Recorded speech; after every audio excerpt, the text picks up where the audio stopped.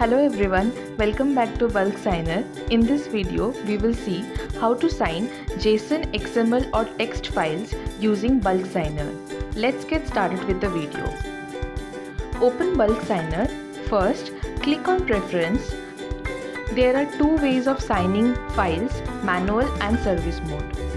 Under In and Out folder, Setting of Service, browse In and Out folder, then click OK. As you can see, your path is added over here. If you wish to add more folder path, click on add and follow the same steps.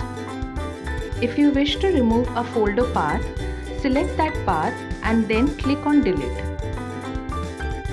Now, under default in and out folder settings for manual sign, select source and destination folder. If you wish to upload the files on FTP server, you can configure the settings here so that the signed files will get automatically uploaded on the server. Now, in signature setting, attach your signature and put your password. Click on save. Now your preferences will be set. Now click on sign JSON files. For manual settings, here you can select files which you wish to sign from the given options. If you click on Get Files based on profile, it fetches the file from the selected path mentioned in Preferences. Now click on Sign. You see signed files over here. For service settings, to see the process, I will keep source folder and destination folder open on screen for better understanding.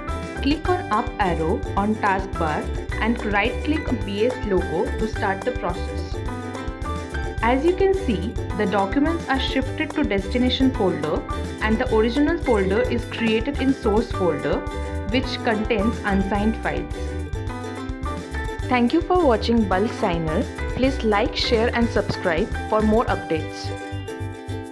For more information, visit our website www.bulksigner.com or call us on the mentioned number.